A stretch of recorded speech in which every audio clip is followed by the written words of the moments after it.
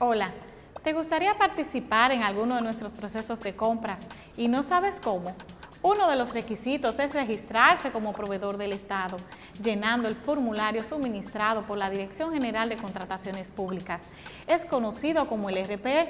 Se solicita de manera gratuita y su plazo de inscripción efectiva es de 10 días hábiles.